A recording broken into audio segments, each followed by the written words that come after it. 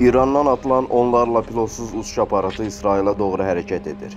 Bu barədə İsrail Müdafiə Qüvvələrinin sözçüsü Daniel Haqari mətbuata açıqlamasında bildirib. O, İsrail hərbi hava qüvvələrinin PUA-ları izlədiyini söyləyib və onların ölkəyə çatmasının bir neçə saat çəkəcəyini qeyd edib. PUA-ların İsrail ərazisinə daxil olmasının qarşısını almağa çalışacaq, lakin müdafiə 100% olmayacaq, deyə o bildirib.